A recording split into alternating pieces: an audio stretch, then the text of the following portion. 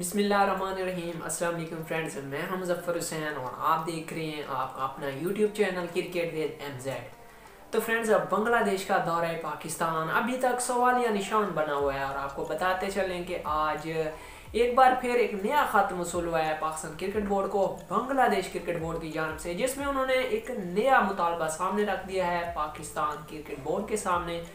وہ کیا مطالبہ ہے؟ وہ آپ کے ساتھ شیئر کریں گے۔ اور کیا ہیں آج تک کی لیٹسٹ اپڈیٹس پاکستان اور بنگلہ دیش سیریز کے حوالے سے؟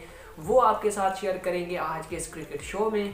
اگر آپ جاننا چاہتے ہیں تو اس شو کو اینڈ تک لازمی دیکھیے۔ اس سے پہلے آپ سے ریکویسٹ ہے کہ لائک کے بٹن کو لازمی پریس کر لیں۔ اور جو فرینڈز چینل پر نئے ہیں، وہ کرکٹ کی لیٹسٹ اپڈیٹ سب سے پہلے حاصل کرنے کے لیے چینل کو سبسکرائب کرنے کے ساتھ کر لیں۔ تاکہ کرکٹ کی ہر لمحہ بدلتی صورتحال سے آگاہ رہ سکیں۔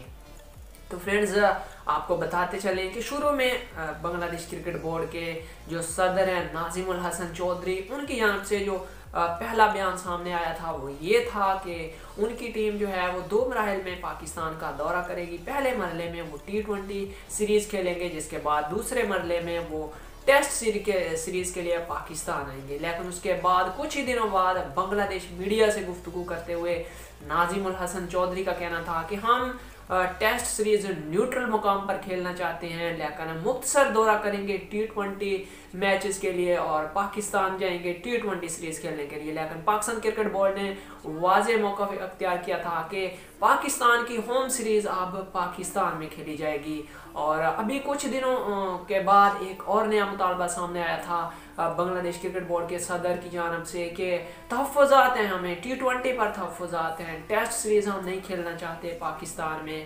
جس کے بعد آج ایک بار پھر ایک نیا خط مسول ہوا ہے پاکستان کرکٹ بورڈ کو، بنگلہ دیش کرکٹ بورڈ کی جانب سے، جس میں یہ مطالبہ کیا گیا ہے کہ ہم ٹی ٹوینٹی سیریز کھیلنے کے لیے تو تیار ہیں۔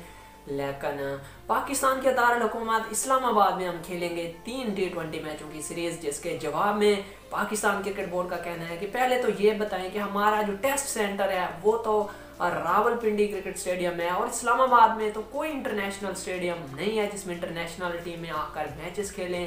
اور مجھے جہاں تک لگ رہا ہے، اب یہ معاملہ آئی سی سی کی جانب جو ہے، وہ جاتا ہوا نظر آ رہا ہے۔ کیونکہ بنگلہ دیش پاکستان میں کھیلنا بھی چاہتا ہے اور نہیں بھی کھیلنا چاہتا۔ ابھی کشمکش میں ہے بنگلہ دیش۔ اور فرینڈز یہ ہیں آج کی لیٹسٹ اپڈیٹس پاکستان اور بنگلہ دیش سیریز کے حوالے سے۔ اگر اپڈیٹس اچھی لگی ہیں تو لائک ضرور کر لیں۔ تو ملتے ہیں پھر نیکسٹ اپڈیٹ میں۔ تب تک کے لیے تھینکس فار واچنگ بائے